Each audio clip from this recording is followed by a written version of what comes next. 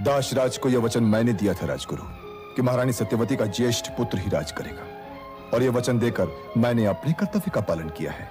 परंतु तुमने ऐसा क्यों किया युवराज? मैंने ऐसा इसलिए किया राजगुरु कि कोई दुखी राजा प्रजा को कभी सुखी नहीं बना सकता।